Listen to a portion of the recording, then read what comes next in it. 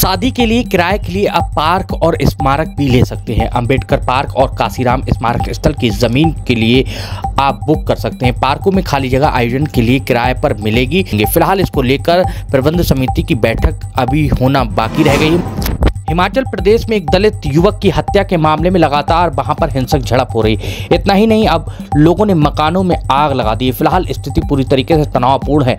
मनोहर की निर्मम हत्या से हिमाचल प्रदेश की चंबा सुलग उठा है। हिंदू संगठन के साथ हज़ारों की संख्या में पहुँचे लोगों ने मुख्य आरोपी के घर को फूक दिया है। साथ ही पुलिस स्टेशन, सड़क और बाजारों में प्रदर्शन कर रहे आरोपियों को फांसी दी जाने की मांग की जा रही आईपीएस अनुरुद्ध जाँच में दोषी पाए गए हैं। वीडियो कॉल के ज़रिए बीस लाख रुपए की की थी मांग।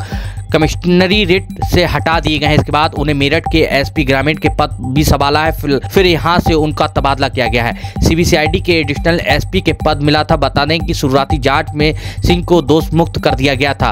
अनिरुद्ध सिंह वाराणसी में एएसपी के पद पर तैनात थे। स्कूल मालिक के खिलाफ रेप का मुकदमा दर्ज हुआ था। उसे निपटाने के लिए बीस लाख रुपए की रंगदारी मांगी थी। ये अवैध धंधों के खिलाफ आवाज़ उठाने पर बजरंग दल के कार्यकर्ताओं पर जमकर खाकी ने लाठी बजाई है।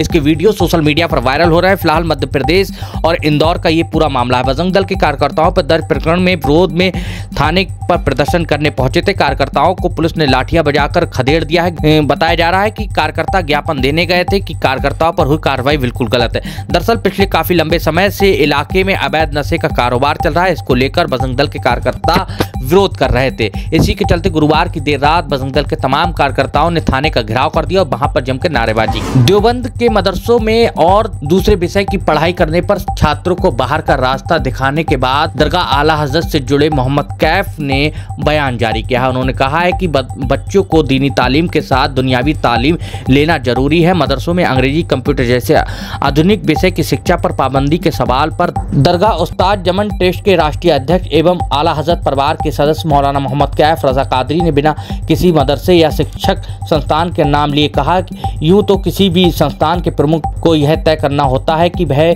अपने मदरसे में अथवा शिक्षक संस्थान में क्या पढ़ाएँगे? फ़िलहाल उन्होंने कहा, दीनी तालीम के साथ दुनियावी तालीम भी ज़रूरी है।